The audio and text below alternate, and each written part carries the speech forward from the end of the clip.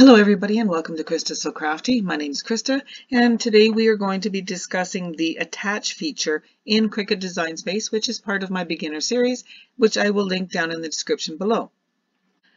Why do we want to use attach? The thing you want to use attach for is for example when you're making a card. As you can see here I have a square rectangle created that is 10 inches wide by 5 inches in height. So I want to make a card and I want to have it fold across here. So I'm going to go over to shapes and I'm going to choose this line here, which is the score line. And I am going to bring it over and make it as wide as my paper. I'm going to select both of those and I'm going to choose center vertically. I want that score line to be right in the dead center of this. Okay, so now it is. This is where the attach feature comes into play.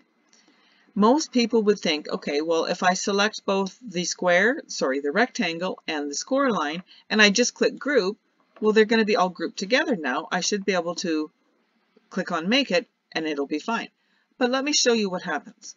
If I click on make it, what Cricut does is it separates the score line onto one mat and the card onto the second mat, which is not what we want. So we'll click cancel. If that happens, just click cancel, go back in, highlight both of these, and click on the attach.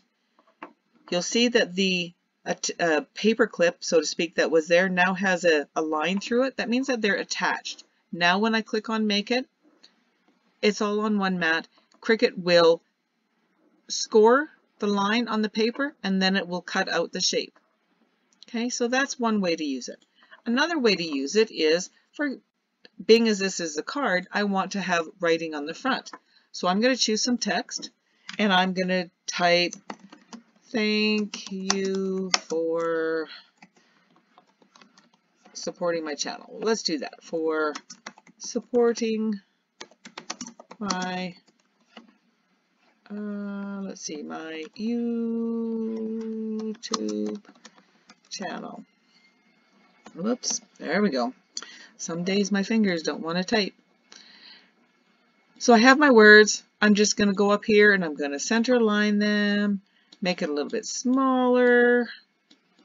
Now I'm going to go up here and I'm going to change this, change the font because I want like a script font. So let's just choose, I don't know, this one here. Okay, so now that I have that, but this is at right now it's a cut. So if you look over here on the right, it's a basic cut. I don't want it to cut. I want it to draw it on here. So I'm going to go up to operation and I'm going to change it to draw and to pen.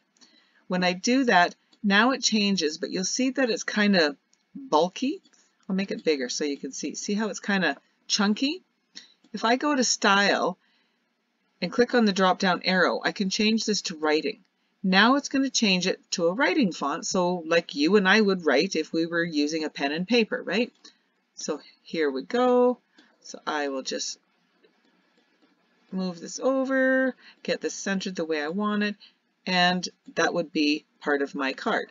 And again, we can go up to align and we're going to, what are we going to do? Um, no,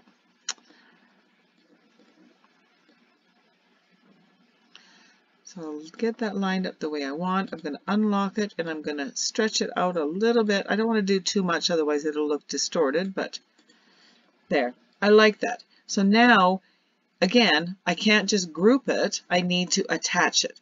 When I do attach, now when I click on make it, you'll see I have my card, I have my score line, and I have my writing. And you'll see over on the left here, it shows you just that the first thing Cricut will do is it's going to score. Then it's going to, so it'll ask you to put the little scoring tool in there. Then it will ask you, when that's done, ask you to put the pen in there. When that's done, then it will cut out the card and then it will be done.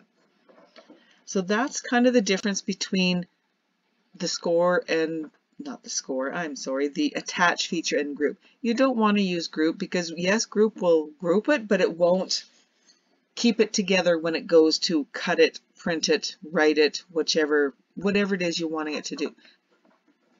That's what the attach feature is for. So I really hope that you found this useful. And if you have any questions, please put them in the comments below. Thank you for Thank you for sticking with me today, and I'll talk to you soon. Happy crafting!